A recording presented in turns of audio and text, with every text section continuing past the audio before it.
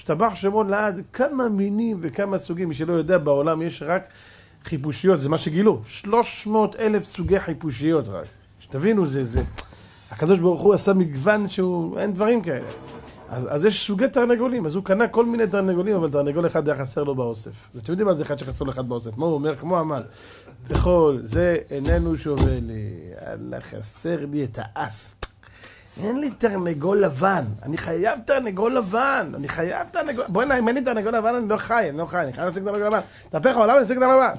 טוב, הפך את העולם להשיג תרנגול לבן, והוא מבסוט, רואה את האוסף שלו מושלם, אתם יודעים, וואו, האוסף שלי מושלם, תראה איזה תרנגולים, כל הצבעים, כל המינים, לא חיסר באוספי כלום, השתבח שמו לעד. מי שיודע איך נראה תרנגול, אתם יודעים, אנחנו כבר לא רואים תרנגולים, נכון?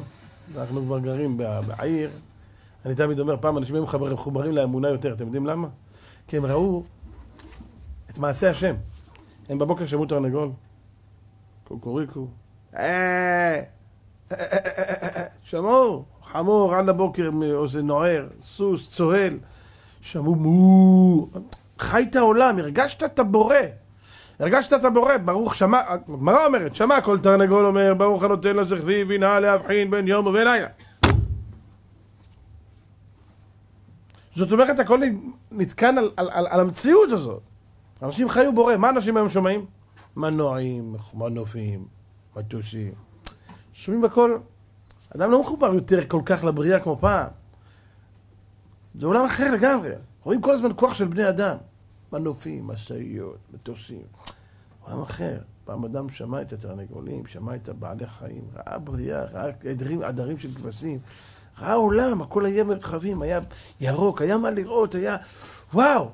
זה, זה עולם הולך ונעלם. היום, מתי ראית תרנגולת בפעם האחרונה? בסופר. בתוך המקפיא, קופלת בניילון. אה, נכון? זה מה שראית. נראה התרנגולת? אה, בתרנגולת, איך תביא תרנגולת שהעירייה מגיעה? שאומרים לך, מה היא עירייה? אה, תרנגולים? אסור. אבל מי שמכיר קצת תרנגולים יודע, כשהתרנגול רוצה לעשות אמבטיית חול, אז הוא עושה אותה. אז הבעל הבית הזה יושב במרפסת ונהנה ככה מהתרנגולים שלו, מהאוסף, ופתאום הוא מסתכל על התרנגול הלבן שלו שהוא צחור, כולו לבן. התרנגול שוכב לו על הצד, בחול, ופתאום מי שראה תרנגול עושה ככה. הוא מתחיל להעיף על עצמו חול. וכולו מתמלא חול, ואתם יודעים, חול הוא מלא אבק, לא נקי, והתרנגול לבן צחור, פתאום הוא נהיה כולו אבק, מכוער. אבל הבית כועס, טיפש, מה אתה עושה? והוא רץ לתרנגול ומרים אותו מהרגליים כמו בכפרות, ו... מתחיל להכות בו, שינקות אותו, רוצה להוציא את החול, אתה הרסת לי את כל ה... בוא'נה, אני שילמתי לך כסף, מה אתה עושה? אומר הזוהר, תעזוב את התרנגול. תעזוב אותו, למה אם אתה תדפוק עליו כדי שיצא ממנו החול, נשמתו תצא לפני שהחול יצא. עזוב אותו.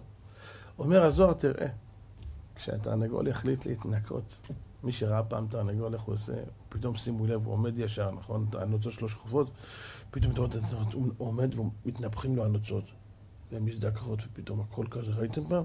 פתאום הוא עושה... מי שעומד שם לידו, באותו רגע, זה כמו התזת חול, יכול להוציא לך את העין. שנייה אחת, רבותיי, הוא עושה דרט אחד, ופתאום אחר כך הוא נרגע, ואתה רואה את הנוצות חוזרות למקום? פרנה, איך הוא התנקה בשנייה? כשהוא החליט להתנקות, זה כבר עולם אחר. כשאתה תנסה לנקות אותו, לא תצליח.